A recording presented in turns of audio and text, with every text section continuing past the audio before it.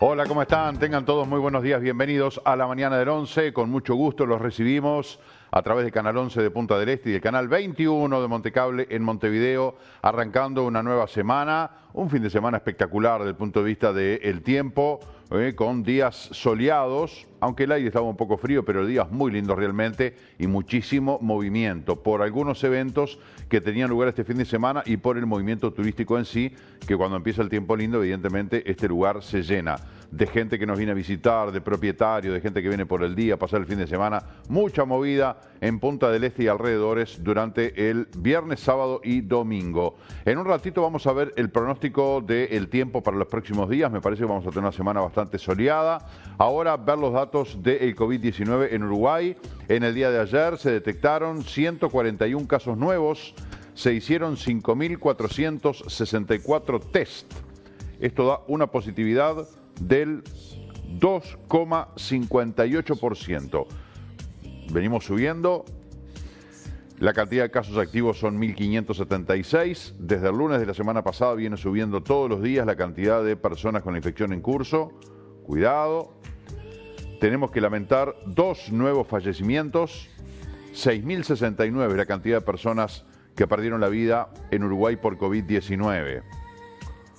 Tenemos 13 personas que están internadas en cuidados críticos, 74 casos activos en la salud. Maldonado, 35 casos activos. En el día de ayer tuvo 4 casos nuevos. Y el mapa del índice de Harvard cambió, porque incluido Maldonado volvió al amarillo. Fíjate que el viernes Maldonado estaba en 1,48. Hoy está en 2,10. Es decir que este, rápidamente la cosa se complica. Dejó de estar en verde Florida, Durazno, en departamentos que habían estado la semana pasada. Llegamos a tener 12 departamentos en verde, hoy tenemos 7. Hay que tener cuidado. Este, sigo insistiendo en el tema del cuidado personal y en el tema de si será oportuno tomar algunas decisiones o no habría que esperar un poco más. No sé, la flexibilización de las actividades tratar de tenerlas un poquitito más sujetadas.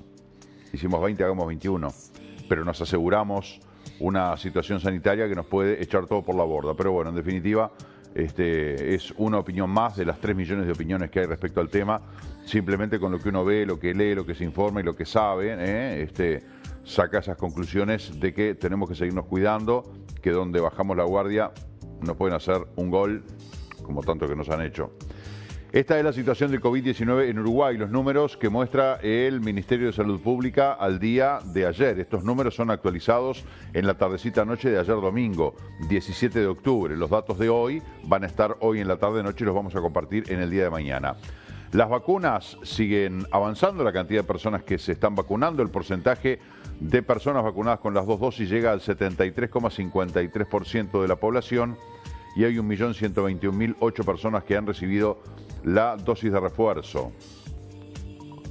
Maldonado en el mapa verde tiene al 73,12% de su población vacunada con las dos dosis, 144.368 personas que ya están vacunadas con las dos dosis aquí en Maldonado, un departamento que está esperando ansiosamente que llegue la temporada, aunque ya vemos que hay un movimiento de pretemporada interesante, muchos propietarios que han venido a ver sus casas, e inclusive eh, algunas ofertas de alquiler o de venta que las han rechazado para poder disfrutar ellos sus casas. Es decir, que vamos a tener un movimiento interesante en el verano, dentro de, hoy estamos a 18, dentro de 13 días, faltan dos semanas en realidad para que se abran las fronteras para los extranjeros, absolutamente todos. Ahora están abiertas solo para los propietarios extranjeros. El primero de noviembre será para todos los extranjeros que quieran venir al Uruguay. Bueno, para eso tenemos que tener una situación sanitariamente saneada, más allá de que tengan que venir con las dos vacunas, etcétera, etcétera, que quiero ver cómo van a hacer para controlar todo eso. ¿Eh? Sabemos de gente que ha ingresado al Uruguay sin vacunar, no sé si habrán mostrado un certificado falso, si no los revisaron o qué. Lo concreto es que hay gente aquí, en Punta del Este, que está eh, eh, viniendo de otro país y no está vacunada. Eso es un dato real. Pero bueno, en definitiva, este, suponemos que podrá ser una excepción, no que sea la regla, porque evidentemente Si no, después lo vamos a lamentar, ¿no? Datos del COVID-19 en Uruguay, lo que acabamos de compartir, inclusive con el tema de la vacunación también. Ahora la información del tiempo que, bueno, nos dice cómo va a estar en los próximos días. Este espacio es presentado por Dobarro y Pichel. Con Comfortline, el clima lo elegís vos. Sumate al Team Comfortline en Dobarro y Pichel, Avenida Italia, Parada 4 y medio.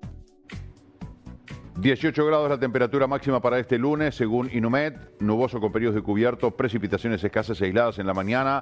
Disminuye la nubosidad hacia la tarde-noche. Hoy a las 7 de la mañana había caído un chaparrón. Había unas nubes amenazantes, infernales, cosa que no estaba prevista.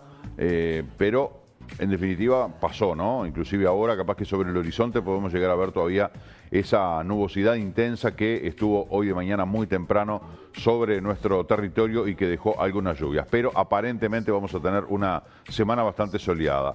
La próxima jornada, martes, va a tener 11 grados de mínima, 20 de máxima, cielo claro y algo nuboso durante todo el día. El miércoles 12 grados la mínima, 20 la máxima, cielo nuboso durante todo el día, aunque aparece el solcito allí detrás de las nubes. Ahora tenemos cielo nuboso aquí en Punta del Este con 15 grados 8 décimas de temperatura, vientos del oeste-noroeste a 7 kilómetros por hora, 74% la humedad, 10 kilómetros la visibilidad, datos de Inumet.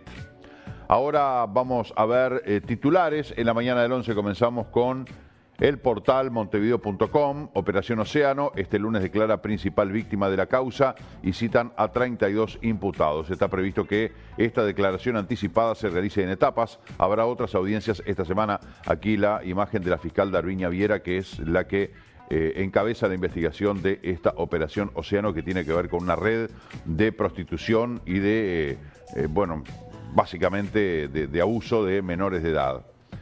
Más titulares de Montevideo.com. Pesca o tráfico hacia Uruguay. Argentina investiga naufragio de lancha con famoso músico Ignacio Pardo, ex saxofonista de los Cadillacs, fue rescatado en aguas argentinas junto a otro hombre. Un tercero murió ahogado. Dos tipos que aparecieron en el agua, los ven, eh, viene la prefectura a ayudarlos, dice que son pescadores, los suben al barco, pero encuentran una embarcación. Eh, en la búsqueda de un tercer tripulante encuentran una embarcación que tenía este, toda esta cantidad, creo que eran 35 kilos de cocaína a bordo.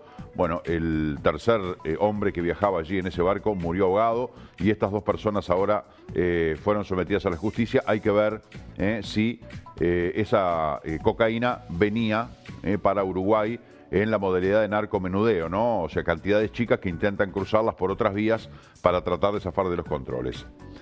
Selección, ¿cuánto se ha hablado de la selección en estos días? Por favor, después de lo que fue el desastre del jueves frente a Brasil y el domingo anterior frente a Argentina, Oscar Tavares sigue en el cargo y ya piensa en la reserva del próximo viernes. Tras un fin de semana convulsionado y con algunas dudas sobre su continuidad, el cuerpo técnico de la Celeste ya se enfoca en lo que viene. Yo estoy seguro de que muchos pensaban de que Tavares ya estaba eh, cocinado, ¿no? que ya estaba fuera de la selección eh, con esa reunión en el Complejo Celeste, pero después de mucha conversa, finalmente decidieron que Tavares siga para los dos partidos que quedan de este año, 2021, por eliminatoria, que son en noviembre, contra Argentina en el campeón del siglo y contra Bolivia en la altura de La Paz. Según estaba leyendo por ahí, creo que en el diario El País, de cuáles son las razones para que el maestro haya quedado en su cargo. Bueno, primero que se hicieron, hicieron un mea culpa de la realidad de la selección conscientes de que el rendimiento no es el esperado, el deseado y el que venía teniendo la selección. En segunda instancia, la convicción de que esto se da vuelta. El cuerpo técnico está convencido de que esta situación se va a revertir y que Uruguay va a clasificar al Mundial porque ha habido situaciones complicadas en otras eliminatorias, logró revertirse y poder clasificar. Lo otro es decir, bueno, perfecto, se va el maestro Tavares. ¿A quién traemos? Más allá de que está el nombre de Diego Aguirre arriba de la mesa, lo traen para jugar dos partidos súper calientes prácticamente sin conocer a los jugadores, más allá de que los conozcan, que le diga, che, vos sabés quién es Luis Suárez y que eh, Aguirre diga, sí, lo conozco. Me refiero al conocimiento futbolístico eh, de muchos jugadores, incluso algunos que no han sido convocados en el proceso de selección de Oscar Tavares y dijeron, bueno, vamos a eh, darle a un técnico al que sea un fierro caliente, con el compromiso de que con pocos días de entrenamiento, sin conocer a los jugadores, tiene que jugar dos partidos dificilísimos. Entonces, bueno, de alguna manera dijeron, dejamos a Tavares cuando se jueguen los dos partidos con Argentina y con Bolivia, pasamos raya y vemos si de repente eh, eh, Uruguay golea en los dos partidos, gana bien con contundencia, probablemente el maestro siga al frente de la selección. Eh, el año que viene quedan cuatro partidos y el año que viene es el Mundial. Pero bueno, pende de un hilo, como dice Gustav, en los ocho escalones, le renovaron la confianza por ahí dice ya no tiene los superpoderes que tenía Oscar Tavares, pero em, la directiva de la Asociación Uruguaya de Fútbol decidió que permanezcan en sus cargos todos los integrantes del cuerpo técnico para estos dos partidos del mes de noviembre. Más titulares en Montevideo Portal, Álvaro Delgado, el gobierno está trabajando para bajar algunos sobrecostos de ANCAP. Hay una propuesta de, de FANCAP, del sindicato de ANCAP, que dicen eliminar el IMESI y bajar el IVA a la mitad. Nosotros lo hemos dicho aquí de los componentes de la nafta porque se habla de los sobrecostos, de los subsidios, que son tres pesos en los 70 y algo que vale la nafta. La mitad del valor de la nafta es de IVA e IMESI. No se puede trabajar por ahí, lo hemos dicho nosotros, ¿no? Bueno, la propuesta de FANCAP es de eliminar el IMESI y de rebajar el tema del IVA eh, para el tema del gasoil y también para las naftas. Vamos a ver cómo eh, cuaja esto, porque además, según ya dijo el ministro de Industria, el dólar, el petróleo ha estado subiendo, como que es cantado de que el primero de noviembre suben los combustibles de vuelta. Procuran esclarecer la muerte de un joven cuyo cadáver apareció en un vertedero. Saldain, que es el eh, presidente de la Comisión de Expertos para analizar la reforma de la seguridad social, dijo, reforma de seguridad social solo es posible con aumento de edad jubilatoria. Clausura, lo que dejó la sexta fecha donde Nacional alcanzó a Peñarol en la cima. Colombia, golazo de Sebastián Viera de tiro libre para una nueva victoria de Junior. Un golazo hizo Seba de afuera del área. Irlanda del Norte, arquero le pegó a un compañero por un error y lo dejó noqueado. Increíble, ¿eh? un gol que se comen, es cierto. Entraron tocando hasta dentro del área en este partido de Irlanda. Y este, bueno, la defensa estuvo medio dormida, pero no es este jugador que está acá. ¿eh? Este jugador se tiró, este, digamos, cansado, porque se le ve en el video ¿eh? El, problema está acá. Acá está de negro el arquero, que es un pelado, y el jugador al que le pega un par de sopapos y lo deja tirado en el suelo. ¿no? Desubicado el arquero. Después le, dijeron de todo. Y aparentemente iba a recibir una suspensión como debería ser. Pero increíble lo que pasó en este partido en Irlanda del Norte. Dentro de las más leídas, bueno, eh, todos nos sorprendimos con la noticia del fallecimiento de Gustavo Sáenz un eh, comunicador que trabajó muchos años en Canal 4, creo que estuvo 18 años eh, en el Centro Montecarlo de Noticias, cuando era el Centro Montecarlo de Noticias, eh, que trabajaba básicamente haciendo los móviles. Gustavo Sáenz, que cuando se iba de vacaciones venía para el este y siempre nos venía a visitar. Teníamos una linda relación con Gustavo y bueno, lo hallaron sin vida en su casa, tenía creo que 63 años y bueno, este, la verdad que la sorpresa de saber de la muerte de Gustavo y de alguna manera un hombre joven, ¿no? Todavía le quedaba mucho por vivir. Bueno, a su familia, por supuesto, nuestro, nuestro sentido pésame. Nos vamos a los títulos del observador. ¿Qué les parece? El principal dice, le piden a Kirma que revele cuáles son los 78 clientes satisfechos. Esto es en el marco de la comisión investigadora del caso Cardoso. Kirma es la empresa que había sido contratada por Cardoso para eh, publicidad digital que bueno, después la empresa se retiró y dijo que no, iba, no, se había presentado, que no había hecho ningún negocio, en fin. Eh, Kirma es esa empresa de Estonia eh, y ahora en el marco de la comisión investigadora le piden que revele cuáles son los 78 clientes satisfechos. Socialistas y comunistas vuelven a distanciarse por candidaturas. La fuerte autocrítica de la Riera tras la derrota, no encontramos la pelota. Peñarol vino ayer a Maldonado a jugar con Deportivo, eh, vino por lana y se fue esquilado, perdió 1 a 0. Yo no vi el partido, lo escuché por radio. ¿Eh? este, pero por lo que decían los comentaristas, la verdad que Peñarol, al estilo Uruguay, ¿no? La verdad que yo en lo personal, desde el punto de vista futbolístico, no tengo nada que festejar porque este, la selección, una este, actuación patética en los últimos tres partidos, diría yo, porque de esta última triple fecha, el partido que jugamos en el Estadio Centenario con Colombia, este, podríamos haberlo ganado. ¿eh? Y sin embargo, empatamos 0 a 0 y después el desastre con Argentina y con Brasil. En dos partidos terminamos 7 a 1 abajo. ¿eh? Horrible, la verdad. Y Peñarol, que bueno, este, había agarrado un poquito la bajada, este, había agarrado la punta del clausura, la punta de la tabla anual y bueno, y de repente se pincha y pierde todo. ¿eh? Y ayer no pudo hacer nada. Insisto, por lo que escuché de el relator y el comentarista, lo de Peñarol fue realmente muy, muy flojito. Y bueno, dice el técnico de la Riera, no encontramos la pelota. Y si un equipo de fútbol no encuentra la pelota, se complica.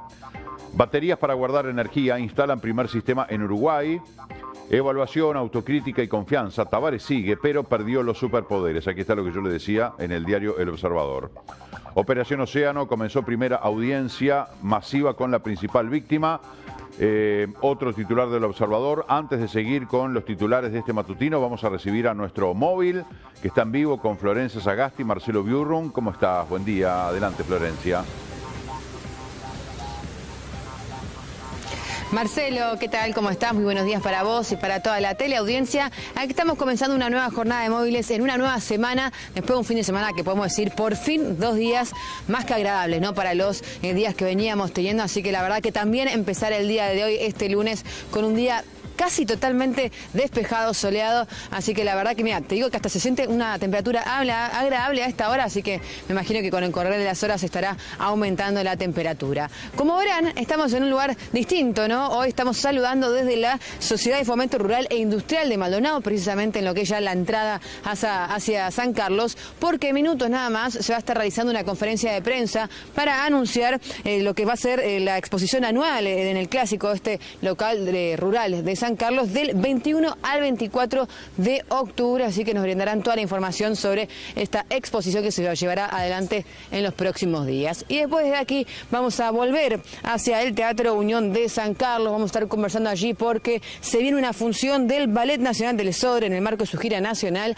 así que ideal también para hacer otra invitación cultural, podemos decir, para aprovechar aquí en el departamento de Maldonado, así que esto es algo lo que tenemos para compartir con ustedes en esta soleada mañana. Impecable, Florencia, muchas gracias. Estoy viendo allá detrás tuyo, eh, creo que es el presidente de la Junta Departamental que está siendo entrevistado. Eh, estaría bueno de repente este, poder hablar con él y preguntarle por qué la bancada de Diles del Frente Amplio le retiró la confianza política a José Luis Sánchez eh, a raíz de este, que bueno estaba hablando un edil del Frente Amplio en la media hora previa y estaba haciendo una locución denunciando casos irregulares en la administración y eh, bueno se le terminó el tiempo, no le votaron la prórroga para que pudiera seguir hablando, algo que según dicen los ediles no tiene antecedentes y bueno eso motivó la molestia de la bancada de ediles del Frente Amplio que en la Junta de Maldonado decidió retirarle la confianza política al presidente de repente, entre otros temas, eh, podría ser este, una posibilidad para preguntarle. Eh, Florencia, volvemos contigo entonces más adelante para que nos desarrolles toda esta información, ¿te parece? Cómo no, Marcelo, así es. Los estaremos convocando más adelante para compartirle algunos testimonios. Impecable, muchas gracias. Volvemos con nuestros compañeros del móvil más adelante en esta mañana bien linda, eh, bien soleada, realmente está muy lindo. Seguimos con algún titular del diario El Observador. La movilidad llegó a niveles prepandemia por primera vez desde marzo del 20. La razón por la que los jóvenes tienen miedo a perderse la serie que están viendo sus amigos. Murió Colin Powell, ex secretario de Estado de Estados Unidos. Estaba leyendo, creo que es en La República que lo dice, que o en algún medio argentino que murió eh, con COVID. ¿Se acuerdan, no? Este, Colin Powell, que tuvo mucho que ver eh, en la década del 90 eh, con las intervenciones militares de Estados Unidos. Bueno, uno de los grandes artífices fue Colin Powell. En 2020 se dio casi la misma cantidad de niños en adopción que en años prepandémicos, dice el presidente del INAU. ¿Por qué las hamburguesas son un buen negocio para invertir? El golazo de tiro libre de Sebastián Viera en Colombia. Adolescente de 15 años está con muerte cerebral tras varios disparos. Mujer fue condenada a ocho meses de prisión por violencia doméstica contra sus padres. El maestro Tavares continúa como técnico de la selección uruguaya. Forlán habló de crisis. No me gustaría que lo de Tavares termine de esta manera. Uno veía eh, la, mm, una recopilación de imágenes de lo que ha sido el proceso Tavares y realmente hemos tenido muchísimas alegrías. ¿eh? realmente nos sentimos muy orgullosos de nuestra selección, ¿eh? porque era más allá del fútbol, era un equipo que tenía valores, que tenía principios, que mostraba unión, que era ejemplo para una sociedad dividida, agresiva, para los jóvenes, para los más chicos, del trabajar en equipo, de las frustraciones, generarlas o, mm, procesarlas de, alguna manera positiva. O sea que la, mm, conducción del maestro Tavares y todo su cuerpo técnico de la selección fue muy buena y fue mucho más allá del fútbol meramente como expresión deportiva, ¿eh? como expresión cultural y como, eh, no sé, cantidad de valores y de mensajes que el maestro impartió a través de la selección. Y en eso coincido con Forlán. A mí me da lástima que se termine de esta manera, ¿no? Si se terminara, eh, la cosa está muy complicada, ya no es lo que era, pero evidentemente hay un deterioro. Claro, de lo que es el cuerpo técnico y de lo que es el propio maestro Tavares. Deterioro físico, deterioro anímico. Uno ve, bueno, lo vimos el otro día en el partido Uruguay-Brasil, yo creo que lo comenté ya, ¿eh? cuando mostraban en ese eh, entretiempo, no entre primer y segundo tiempo, en la mitad del tiempo, que era para que los jugadores se hidrataran, había cuenta del calor que había en Manaos cuando se jugó el partido. Tite, que ya iba ganando 2 a 0, eh, les dio una charla técnica a los jugadores súper motivacional eh, hablándoles a todos lo que debían hacer, lo que debían corregir, por dónde podía venir una eh, mayor eh, actuación de Brasil y a dónde había que cuidar Uruguay. Muestran lo mismo de Uruguay y estaba el maestro Tavares agarrado su bastón callado, mirando a los jugadores que hablaban entre ellos. O sea, daba la sensación de que Tavares no tenía ninguna fuerza, como que no hablaba, no tenía energía, no tenía poder de convocatoria, no estaba motivando a los jugadores. Eso es lo que se vio el otro día en el partido Uruguay-Brasil. Yo estaba viendo lo que fueron los partidos en Sudáfrica 2010 y en Brasil 2014. Cuando hablaba el maestro Tavares, parecía el argentino Dengra, ese motivador de los rugbyers. Bueno, hablaba el maestro Tavares con una energía, con una fuerza, en el medio de un grupo que estaba todo abrazado.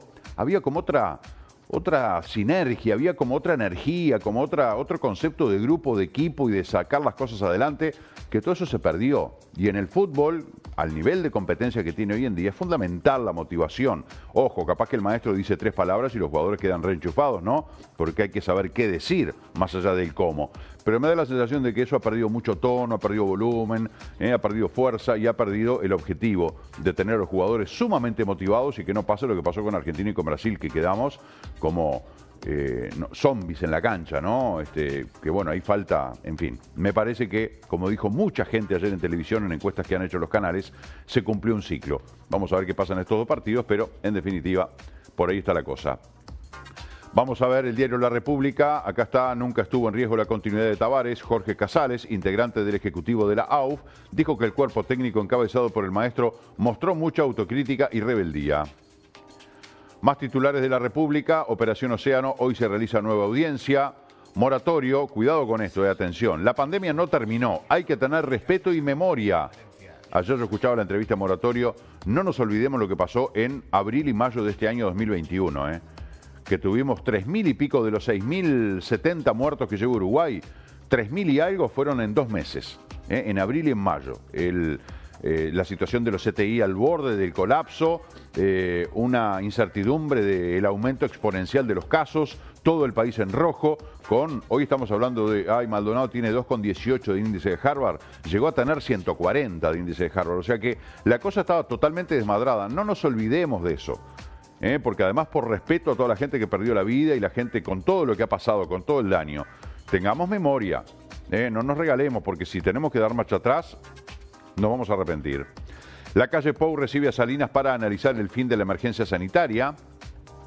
De alguna manera, este, como que se contrapone una cosa con otra, ¿eh? porque una vez que el gobierno decida levantar la emergencia sanitaria, olvídate, ahí ya este, todo va a ser prácticamente normal. Incluso el otro día, Miguel Asqueta, director general de la salud, respecto al evento de América Rockstar del fin de semana anterior aquí en Punta del Este, dijo, dentro de poco esta imagen nos va a resultar normal porque va a empezar a ser normal.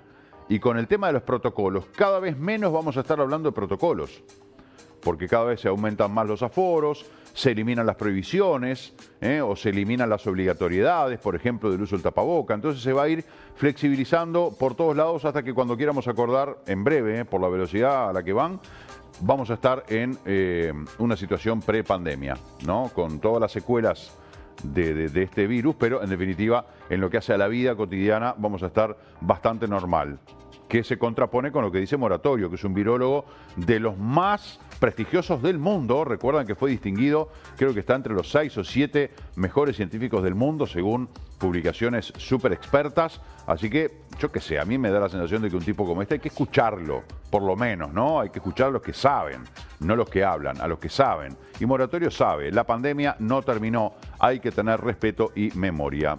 Finalmente, el titular de eh, Diego Forlán, que apoyó a Tavares y criticó a su ex compañero, si Lugano opina, no está bien. Por allí algunos salieron a criticar de que el cuerpo técnico no tiene que consultar a exjugadores. Eh, che Lugano, ¿qué te parece? Che Abreu, ¿a vos qué te parece? En todo caso, a otros técnicos. Eh, se habló, por ejemplo, de este Marcarián, eh, como que puede ser una persona referente de consulta, pero en definitiva aquí hay medio un cortocircuito de que los jugadores que estén metiendo la cuchara o exjugadores, recordemos que tanto Forlán como Lugano fueron de la generación dorada de Sudáfrica 2010. Pero en definitiva, Lugano, que hoy está en otros menesteres, eh, este, salió allí a conversar, a dar algunas opiniones y Forlán salió al cruce. Eh, bueno, nos tenemos que ir a la pausa, pero igual vamos a ver un par de titulares de la prensa argentina, por ejemplo el diario Clarín, otro festejo del Día de la Lealtad tras el faltazo de ayer en la CGT, creen que Alberto Fernández tampoco aparecerá en el acto de hoy.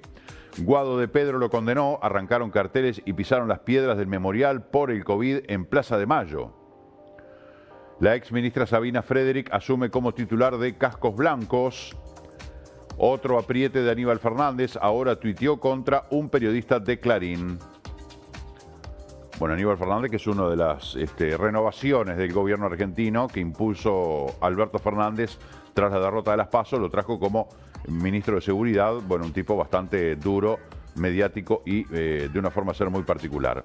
Infobae dice que la CGT realizará un acto de desagravio tras el ataque al memorial de las víctimas del COVID-19. Va a ser 11 y media de la mañana en Plaza de Mayo. Estará encabezado por el secretario de Derechos Humanos de la Central Obrera, Julio Piumato. Murió de coronavirus Colin Powell, ex secretario de Estado norteamericano. Aquí está la noticia, la dado Infobae, el detalle del COVID eh, que se llevó a Colin Powell. El contundente gesto de Wanda Nara luego de la desconcertante foto con Mauri Cardi, bueno, esto para los programas de la tarde que se dedican a estas cosas triviales. El gobierno presiona a las empresas para que acepten el congelamiento de precios, la incomprensible, prematura e innecesaria descomposición del gobierno de los Fernández. Broda, la vertiente más radicalizada del gobierno nos lleva a una crisis de magnitud.